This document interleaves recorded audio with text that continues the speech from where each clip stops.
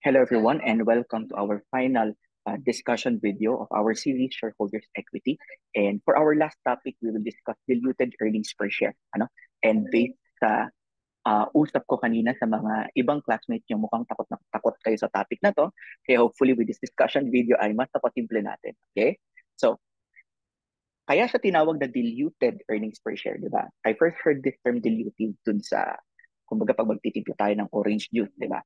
As we add more water, nagiging diluted yung orange juice. Ibig sabihin, less concentrated. So, nagiging malabnaw, nagiging, uh, nagiging lasang tubig na ulit imbis na juice. Ano? So, in essence, kaya tinawag siyang diluted earnings per share kasi habang may dinadagdag tayong mga tubig, ayan, tubig in the form of options or warrants, convertible bonds, and convertible preference share, bumababa yung ating earnings per share. So, how do we compute for the diluted earnings per share? assuming all of these are diluted, we will add your preferred dividends and then after-tax interest expense at the top. And then at the bottom, on the denominator, we will add the additional ordinary share. Diba? Yung ating basic earnings per share kanina ay ito, profit or loss less preferred dividends divided by WACSO. Pero kapag diluted, we add back the preferred dividend and after-tax interest expense dito additional ordinary shares. and the most dilutive potential ordinary share is rank first. The least dilutive is rank last. And kung meron tayong tatlo, laging ang dilutive dito, ang pinaka-dilutive is itong options or warrants. Why? Because it will always definitely lead to the decrease in our earnings per share. Bakit? Kasi madadagdagan yung ating denominator without any corresponding increase in the numerator. Kaya laging dilutive yan, di ba? sa fraction natin, kapag na-add yung denominator, walang change sa numerator, laging bababa yung overall fraction natin. So kapag may option, laging rank 1. Next, convertible bond. So, yung ating convertible bond, yung bond magiging um, shares. Ano? So, we will add back the after-tax interest expense kasi nga ina-assume natin na yung bonds natin, what if na-convert siya? So, wala tayong after-tax interest expense. So, i-add back natin yan and then the denominator would be the number of shares na additional.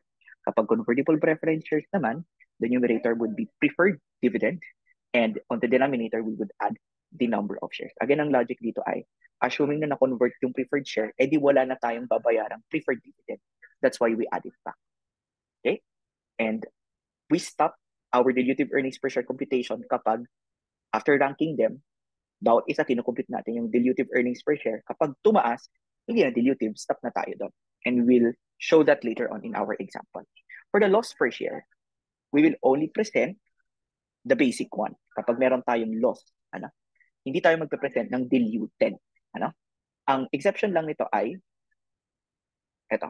When potential ordinary shares do not decrease the loss per share, a diluted loss per share is nonetheless presented. Yun lang naman? So there's no use to present diluted general rule kung meron na tayong basic loss per share. Let's go to our final example of our series. So all throughout the year, an entity has maintained 500,000 ordinary shares. In addition, the entity also had outstanding share options covering 50,000 shares at an exercise price of 15 per share. Net income after 25% tax for the year amounted to 2.6 million. Okay, so for the basic earnings per share, that would be net income minus preferred dividend divided by WACSO. In this case, this would be 2.6 million. The preferred dividend is 400K. And then divide it by our WACSO of 500,000 ordinary shares. So our basic earnings per share would be 2.2 million divided by 500,000. BEP. Ayan. Okay. Ngayon, when we have our different dilutive options or dilutive securities, ganyan, bonds or preferred stock, isa-isahin na muna natin siyang i-compute. No? And we always start with the options kasi nga lagi siyang dilutive. Options or warrant. And here are the steps. Ano? And by the way, merong kulang sa problem yun. No? Kaya bonus na tong problem na to for the dilutive earnings per share if you are part of my review class. So, kaya ito, i-assume natin that the market price is 20 per share. So here's how you always compute for the options, no? Kung ilan yung shares na i-add sa baba. Hindi 50,000, no? So ang gagawin natin first, shares or options, it would be 50,000. And then we multiply it by the exercise price.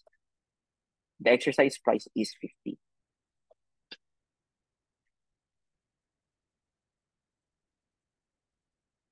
So that would be 750,000. That would be the total proceeds.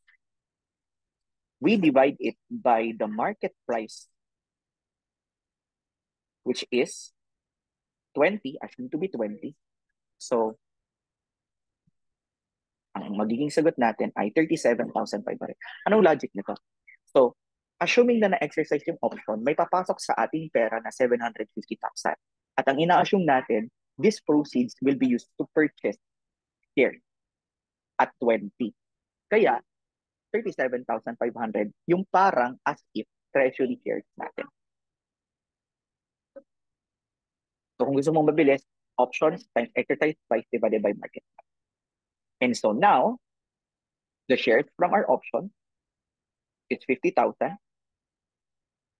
And then we deduct our if treasury shares na 37,500. So itong excess na to, ito yung gagamitin natin sa denominator. And this is already rank 1. Kasi yung iba, merong effect sa numerator and denominator. Next, it would be, unahin natin si preference share. So let's compute it individually, i-isolate natin. Yung kanilang preferred dividend is 400,000. We divide it by the number of ordinary shares, which is 50K times 2.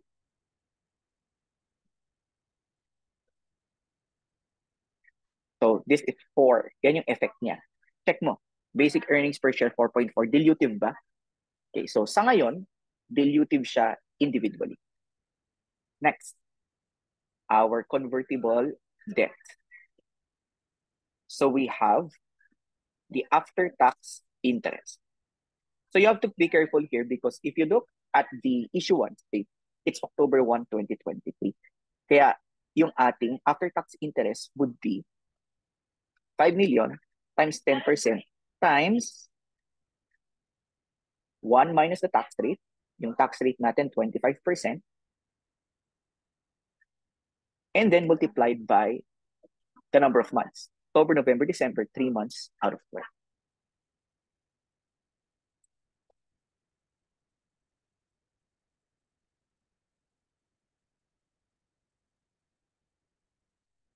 Ninety-three thousand seven hundred fifty. It will also affect our potential ordinary share because it would be seventy-five thousand.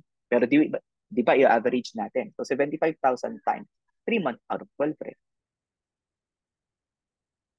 So our isolated case is 5. Dito pa lang, 5 versus 4.4, alam na natin na anti-dilutive to. So this will not affect our computation anymore. We ignore this. So ang ating dilutive lang ay itong options at itong preference. So now, we have our numerator and denominator. Under basic earnings per share, kopyahin na muna natin, our numerator is 2.2 million and our denominator is 500. Kaya yung ating EPS ay 4.4. Then we add the effect on our option. Lang effect sa numerator, may effect sa denominator. So our total would be 2.2 and 512,500. So, bumaba yung ating earnings per share, big sabihin, tuloy lang tayo. Next is our preference share. 400,000. And then the denominator, 100,000. So our dilutive earnings per share, assuming na meron na tayong preference share, bumaba pa rin ba? Yes. And then, we ignore convertible debt. Kung sakali, ano, na dilutive sa dito, may, may mga ganun kasing problem. Dilutive sa isolated, pero dito imbit na 4, lower than 4.29, naging 4.30, 4.35. We ignore this even if isolated dilutive siya. So mag stop tayo ng dilutive na natin 4.29 component. But in this case, tuloy-tuloy lang naman na bumaba. Kaya our dilutive earnings per share would be 4.20. So that's it for our discussion. Thank you for your patience in watching all of these videos. I hope that you're able to follow everything. If you do have any questions, feel free to message me in our messenger, GC, or directly to me. Thank you everyone, and God bless in your review. Bye-bye.